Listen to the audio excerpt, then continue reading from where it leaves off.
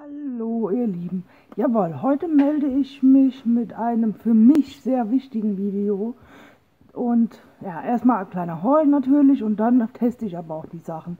Und zwar wollte ich, oder ich liebe Eugle schon total lange mit den Distress Oxide Inks.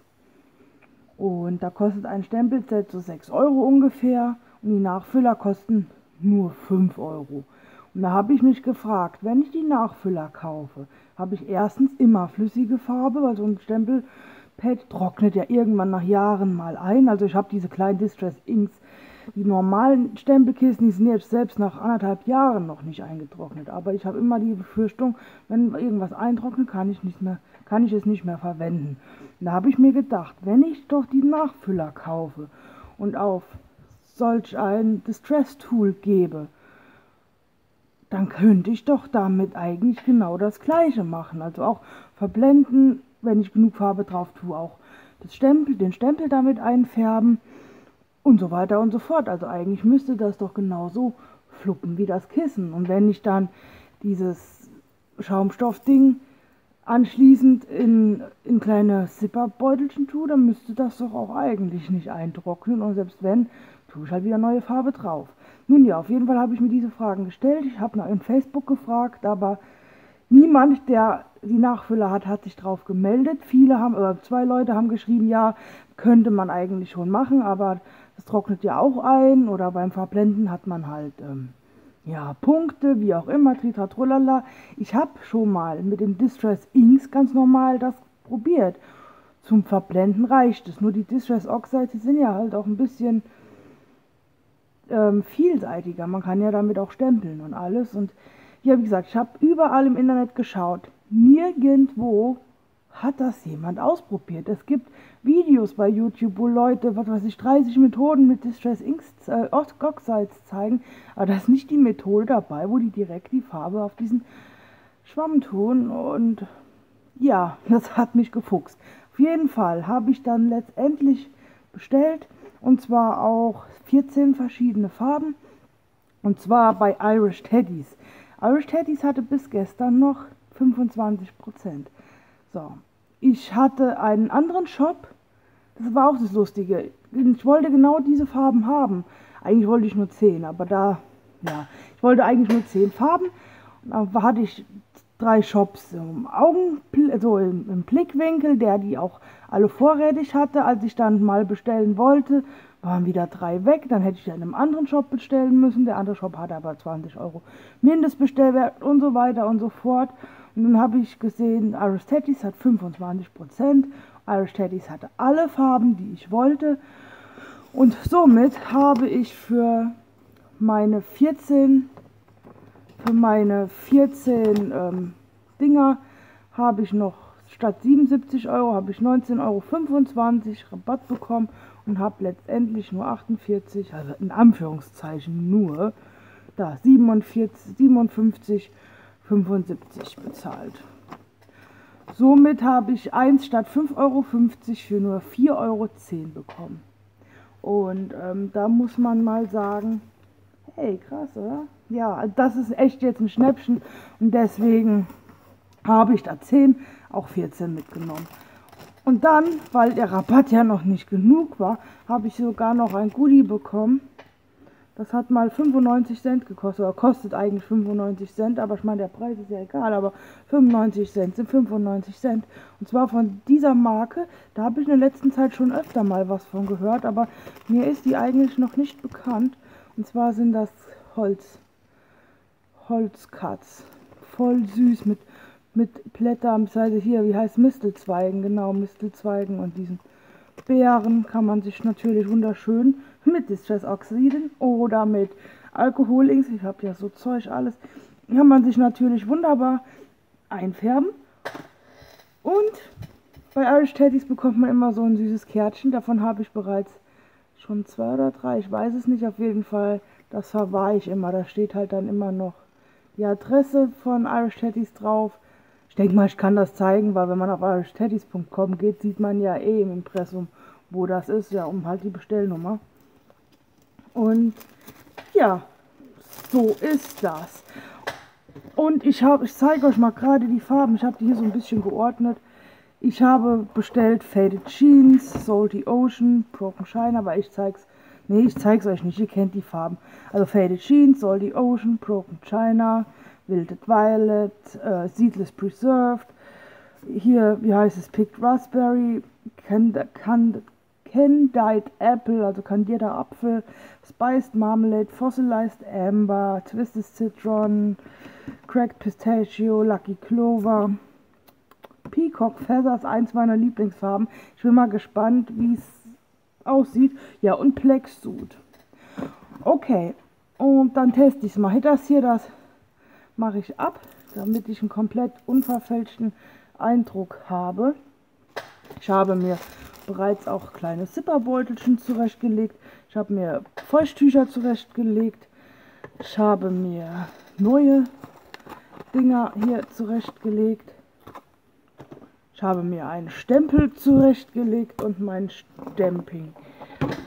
Stamping-Ding, mein neues Schätzchen, was ich auch noch nicht probiert habe.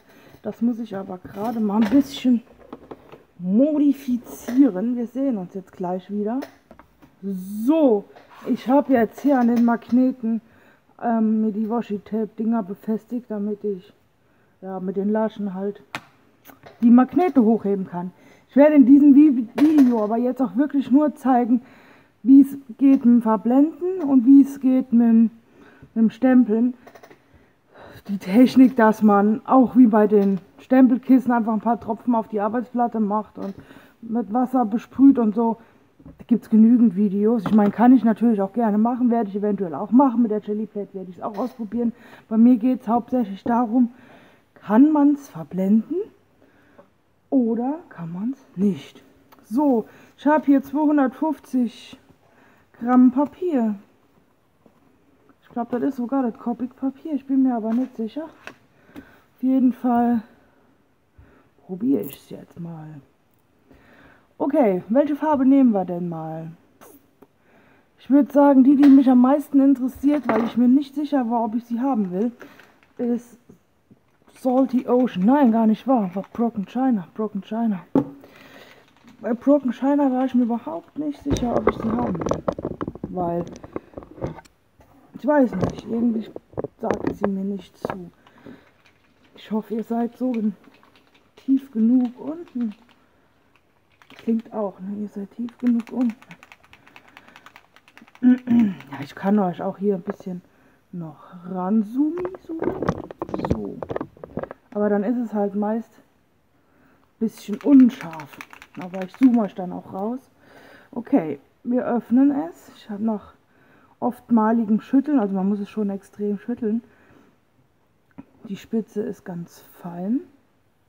Aber das sind halt jetzt so Basics. Es stellt sich jetzt natürlich auch nicht komplett scharf, weil ich rangezoomt habe.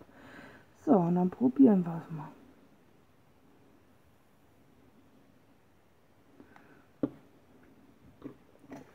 So, ich habe hier irgendwo auch, auch ein Plastikteil.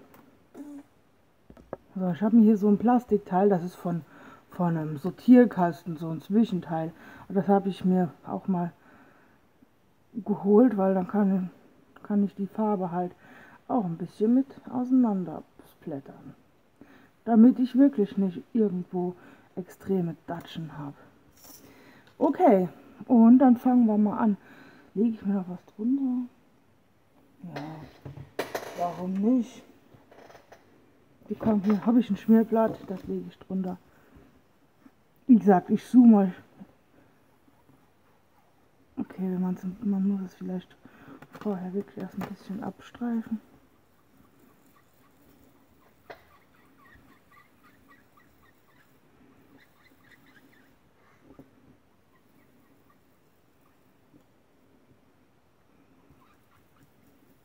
Glaube, wenn man sich hier so ein paar Tröpfchen oder ein Tröpfchen drauf gibt, hat man es ein bisschen einfacher.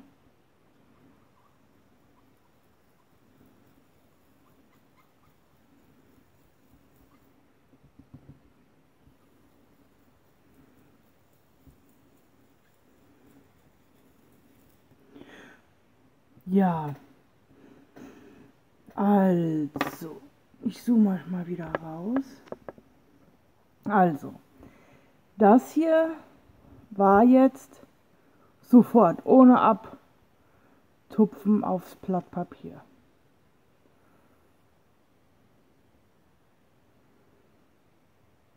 Es ist also, ja, so, da habe ich also hier habe ich es vorher auf dem Papier abgetupft und hier habe ich nur ein Pünktchen benutzt.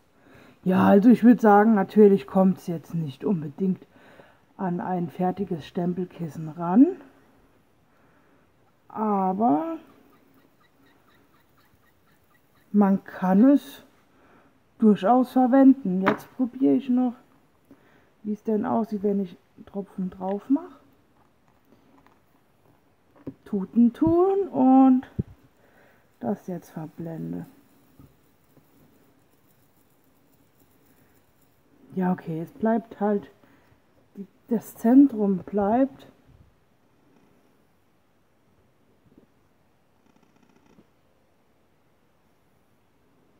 Ja. Ja, aber für meine Zwecke würde ich sagen, reicht mir das. Also ich finde es jetzt nicht sonderlich schlimm. So, und dann, ja, ich meine natürlich, ich meine, wenn man jetzt noch, ähm, wenn man jetzt noch Routine oder eine Übung, Übung sagt man, wenn man jetzt noch Übung da drin hat, dann, also wenn man irgendwie ein Gefühl entwickelt hat, wie viel Farbe man nun drauf gibt am besten, oder wie man die Farbe am besten verteilt oder so. Ich glaube, dann könnte das auch hinhauen, dass man es wirklich ganz normal verwendet. So, jetzt schüttel ich noch gerade das Schwarze auf, denn wir machen jetzt noch das mit dem Stempel. Ich weiß, ah nein, jetzt sind mir die ganzen Tütchen runtergefallen. Durch meinen dicken Bauch, das ist immer praktisch. Wenn mir irgendwas runterfällt, dann, müsst, dann muss ich nur meinen Bauch gegen die Tischplatte, also wenn man schnell genug ist, muss ich nur den Bauch gegen die Tischplatte drücken und dann sammelt sich alles ja, an meinem Bauch. Cool, ne? Äh, ist nicht immer nur nachteilig, wenn man dick ist. So, ich glaube, ich habe es genug aufgeschüttelt, oder? Ah, ich mag ja dieses Geräusch von diesen Perlen total. So, ich glaube, das reicht. So, Tütchen habe ich.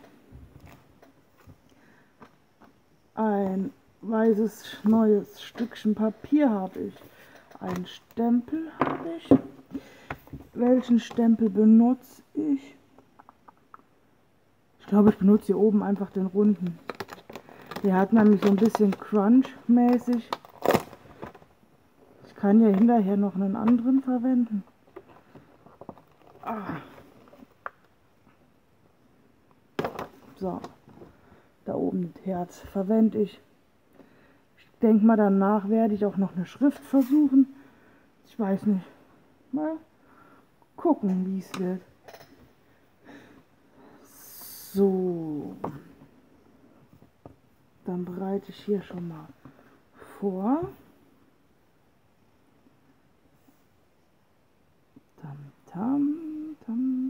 Ach, ihr seht es nicht. Kann ich euch auch zeigen. Boah, die Magnete, die sind übelst, übelst böse. Wenn man die wirklich in der Hand hat und die knappen zusammen und man hat so ein bisschen Haut dazwischen, das tut sehr weh. Das tut sehr weh. So, jetzt präpariere ich das Ding. Ich benutze jetzt einfach den blauen. Da ist eh keine Farbe mehr drin. Oh, guckt euch das mal an. Naja, es ist ja nur Plastik. Oh, ist aber traurig. Das Schnüppelchen abgedrückt. So, ich glaube, das reicht schon. Machen wir hier wieder mit dem Spatel.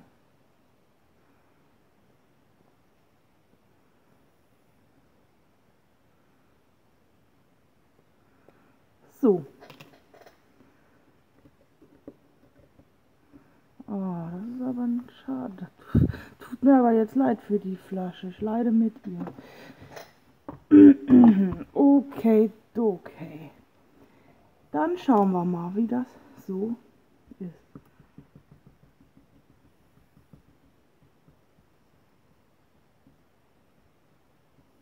Ja, okay, es bekommt halt den, es bekommt halt die Optik vom Schwamm, ne?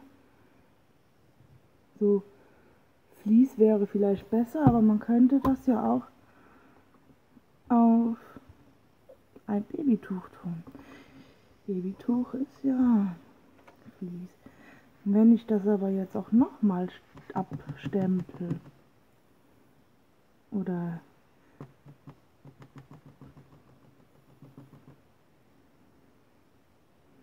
gucken. Also bis jetzt sieht es so aus. Man sieht halt, dass es ja mit dem Schwamm aufgetragen wurde.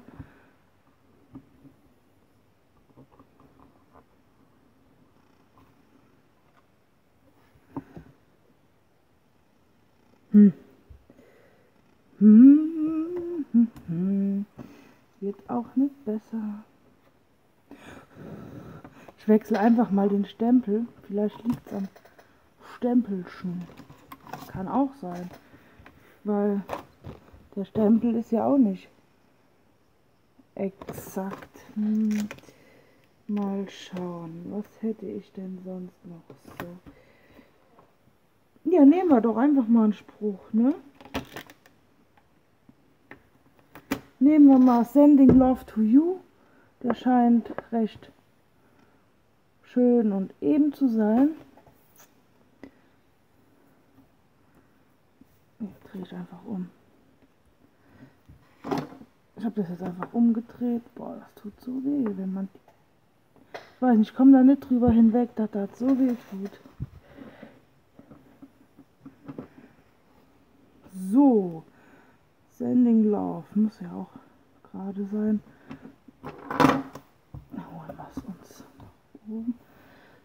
Ich mache jetzt hier keine neue Tinte mehr dran.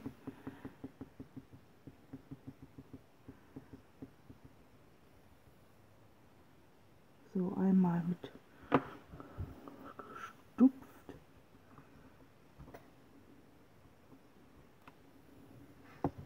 Man sieht zwar immer noch, dass es ähm, mit Schwamm aufgetragen wurde. Ja. So, und jetzt mache ich das mit Kreisenbewegung. Ich habe es jetzt gerade mal an eine andere Stelle positioniert. Mal gucken, wie es aussieht, wenn man die Farbe anders aufgetragen hat.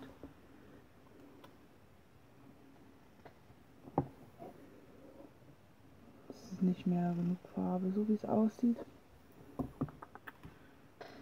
Und dann könnte ich noch oder ich werde noch, ich werde es jetzt noch in einer anderen Technik ausprobieren. Und zwar werde ich jetzt wirklich mal ein Babytuch nehmen. Das ist auch schon trocken, also ausgetrocknet. Die sind ja bei mir ausgetrocknet. Ich benutze die nicht oft.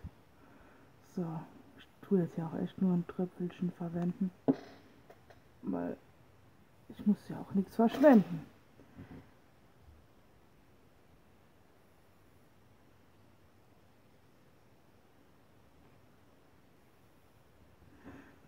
Oder ich mache ja irgendeine Möglichkeit wird es da schon geben.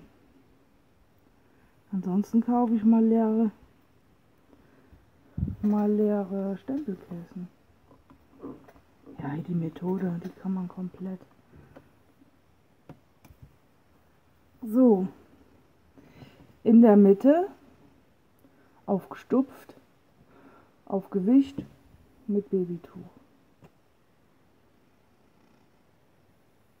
Also aufgetupft, aufgewischt, Babytuch. Ja. Da fällt mir bestimmt noch irgendeine bessere Lösung ein oder irgendein besseres Material. Ich habe auch noch die, die Filzdinger, die man für die Alkohol-Inks verwendet.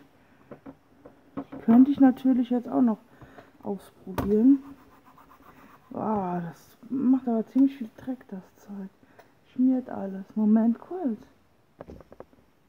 So, jetzt habe ich mal mein Distress Tool geholt, das große, und zwar mit, dies, und mit diesen Filzdingern. Also das ist jetzt nicht wie das.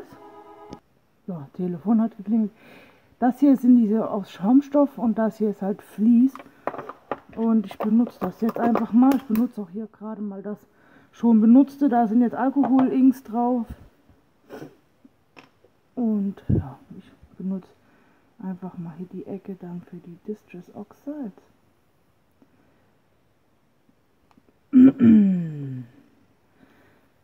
So, ich habe mir auch schon ein neues Blatt geholt und er stempelt schon wieder an die richtige Stelle positioniert.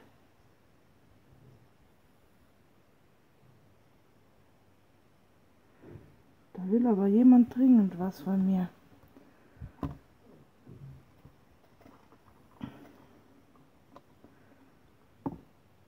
Und so sieht's aus mit